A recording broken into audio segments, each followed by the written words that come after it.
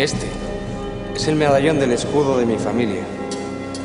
Mi padre siempre insistía en que no nos separásemos de él, que no debíamos olvidar nuestras raíces. Mis hermanos y yo lo hemos llevado siempre. Pero ahora, vos sois el único que queda, señor.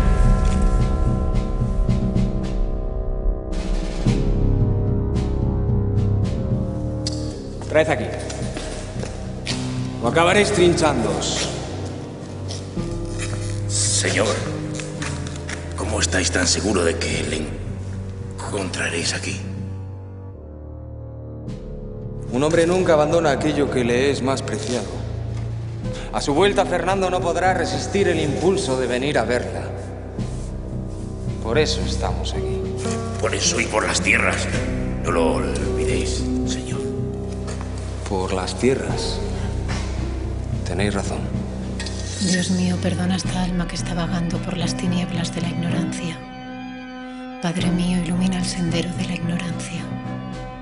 Padre mío, ilumina el sendero que ha de seguir esta alma como divisa. Hermano que estás perdiendo el tiempo, oye mi voz que te dicta en beneficio de tu progreso. Deseo que él se dé exacta cuenta que es un espíritu y está llamado a progresar por el sendero del bien. Espero que te decidas por tu progreso y que te des exacta cuenta de la obra que estás haciendo.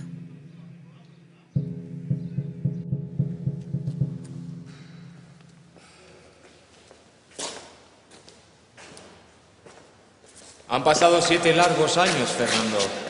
Yo también me alegro de veros, Alonso. ¿Qué hacéis aquí? ¿Acaso os habéis hecho fraile?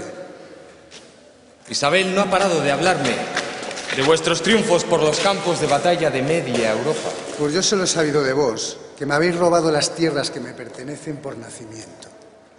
Siete años son muchos años para venir aquí acusándome de tales injurias. Me imagino que el cobarde que habéis traído va a ser nuestro testigo. Imagináis bien.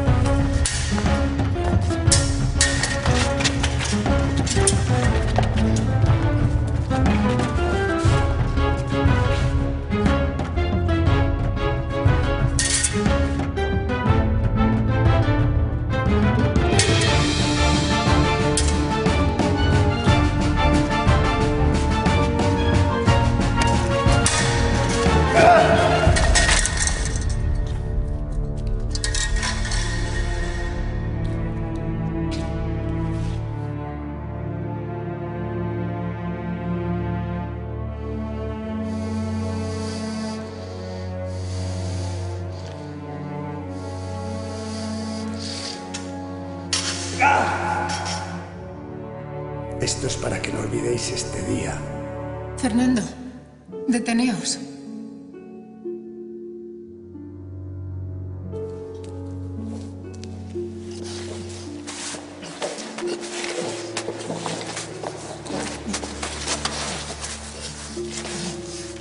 Siento que hayas tenido que ver esto, Isabel.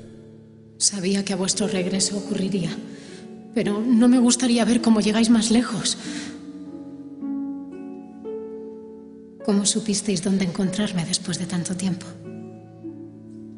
Solo podía haber un sitio donde os hubierais refugiado a mi partida.